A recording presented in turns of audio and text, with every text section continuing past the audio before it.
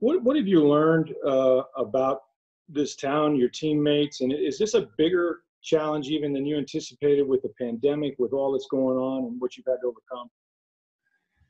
Yeah, I I I, I think every football season's a big challenge in one way or another, and um, obviously for me, you know, changing teams after a long period of time, um, you know, giving me an opportunity to really look at myself and what I want to continue to, uh, you know, achieve in my career and think that I can bring to a team. Um, it's it's it's been different having the opportunity, you know, over this time to you know move and then to you know, for example, study my playbook. I mean, I really haven't had to do that in 19 years, so you know, you forget, man, that's really tough. Like all the different terminologies, and you know, you're going back a very long time in my career to um, you know to really have to put the mental energy in like I did. So I have to work at it pretty hard physically still. You know, I, I put a lot of time and energy into making sure I'm feeling good um, in order to perform at my best. But mentally, I think that's been the thing that's, um, you know, obviously has its challenges. And I think you couple that with, um, you know, the coronavirus situation and uh, it became even uh, more difficult. So I think conversations we probably would have had, uh, you know, in April, we're having now, and I think that part is a bit challenging too. So, um, you know, the only thing you do is, you know, adjust to the situation, adapt the best way you can, um, put as much time and energy now as we can into it, and I think the reality is the clock's ticking on everybody, and um, we're going to have to work as hard as we can and not waste any minutes of any day trying to get used to one another and um, embrace the challenge and, and see it as an opportunity to see um, you know what we can become. Next up is going to be ira kaufman. Tom um, jason Licht and bruce arians uh, they both say that uh, one of the primary reasons you're here tom is, is to raise the accountability uh, of everybody in the building, everybody around you. Uh, Tom, how seriously do you take that responsibility, and and how do you do it? Well, I, at first I really enjoyed you know being with Jason and getting to know Bruce, um, getting to know Byron and Clyde and uh, a bunch of guys that I competed against either as a player, um, you know, or with them as coaches. So it's been kind of fun in that way to uh, you know, to see the different approaches to the game and so forth. Um, you know, everybody sees football a little bit different. Um, you know, it's about how we all see it together and how we can all be on the same page as we move forward. Um, ultimately, my goal is to go out there and do what I've always done is to be the best I could possibly be for the team. And, um, you know, I've tried to catch passes in my career. I've tried to make blocks.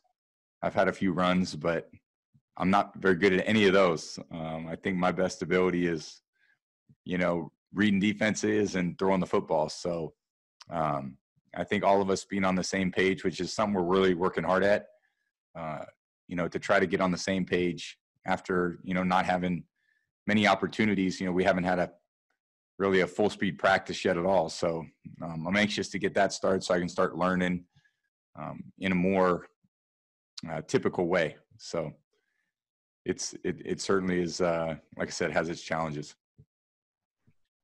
Okay, next up is going to be Greg Auman. Hey Tom, thanks for doing this. Tom, the uh, the decision in terms of players opting out, I know the deadline is still today, and it's a very personal decision for everybody.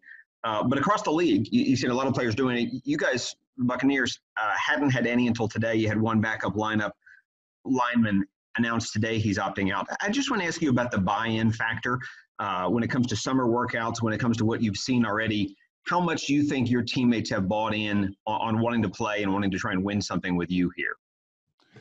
Yeah, I think you know. Again, all those things are you know, those are to be determined for all of us. You know, as we move forward and the type of buy-in and you know, really what you put into it is what you're going to get out of it. And you got to work hard every day to, uh, you know, bring your best emotional energy, uh, you know, to be at your best physically, to learn to know what to do in order to be your best. So, you know, the guys that I've been around, um, you know, it's it's been just that. I mean, guys are working really hard to get to know to one get to get to know one another. Um, you know, again, we haven't had any practices yet, so it's it, it's hard to you know football and you know throwing the ball around at a workout or something like that's a lot different than real football and being in the huddle and uh, getting to know people in that way, knowing who you can really count on. But I think you just have to do what you can with what's we're all dealing with. Um, try to make the most of it and try to understand that we're, um, you know, the clock's ticking on all of us, and you know we've got a lot of work to do in a very short amount of time. Okay, next up is going to be Ed Encina. Hi, Tom. Um, obviously, we, we know you're a guy who really, you know, puts it all in, into your body. You really value taking care of your body. I mean, I'm just wondering, how, how much have you been concerned about about COVID as we've gone on to the past few months? You know, I, I know a few weeks ago you, you tweeted out the FDR quote. You know, but you know, the only thing we have to fear is, is fear itself. You know, how, how worried are you, or what's your level of concern about it personally, and just you know, also the league wide that you know that you guys can can get this season underway and completed since it's one that's you know really important to you guys. Yeah, I think you know you're just everyone's learning, uh, you know, every single day a little bit more. So, you know, I think you just you know you take these things one day at a time, and you know the more you learn, uh, I think we've all learned a lot over the last five or six months.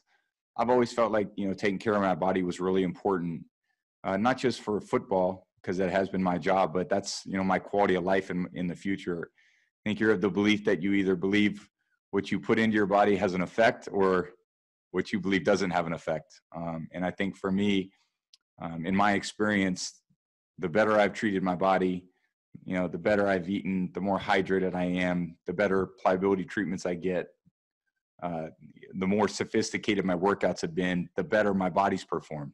So, you know, for me, it's been when something works, you do more of it um, when you do more of it, you see better results.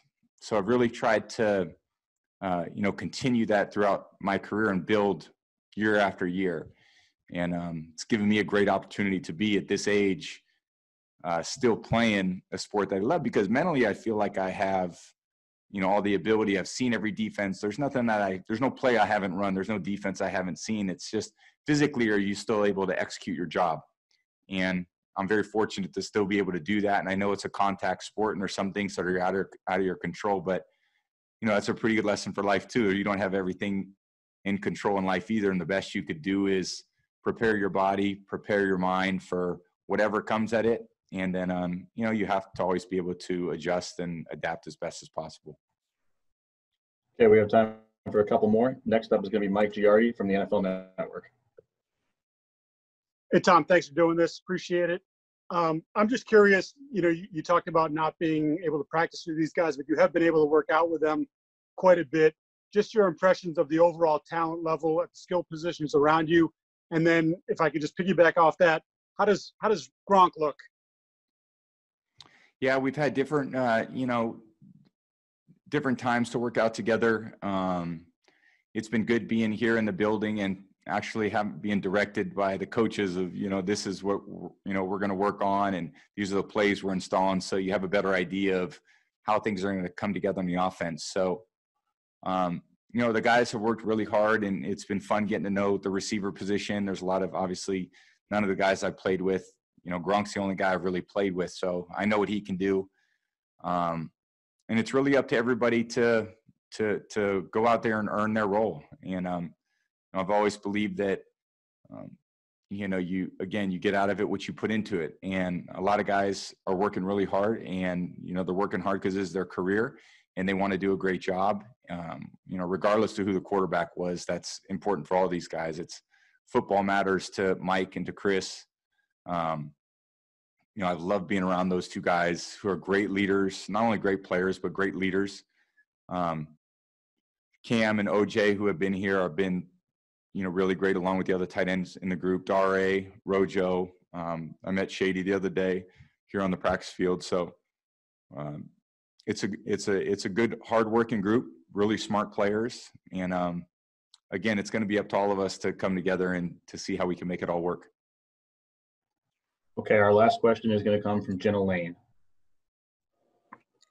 Hey Tom, um, you've been in the same place for for 20 plus years. So what is it like for you coming to this new place? When when does when will Tampa Bay start to feel like home for you? Not just um, off the field, but on the field in Bruce Arians' offense. When will you know you've reached that point? Uh, that's a good question. I mean, it's again, I think part of I said earlier is you know you're trying to learn a bunch of different things, and you're trying to you know not only learn an offense but learn your way to work or uh, learn guys' names. Um, you know, I didn't even know where the quarterback room was, you know, or the the full team meeting room was. So you get in here and your brain's trying to figure out a lot of different things. So every day that goes by, it's getting a little bit better. Um, I'm glad we're not playing a game, you know, this Sunday. I'm glad we have time to prepare. Uh, you know, it's it's it's been a good week or so being in here, and I think every day I'm trying to take advantage of the opportunity to improve myself so that I can be the best quarterback for this team that that this team really deserves. These guys are working really hard, and and uh, you know I want to come in here and do a great job for them. All right, that's all all for today. Tom, thanks for taking the time. Appreciate it, guys. Have a great day. Thank you.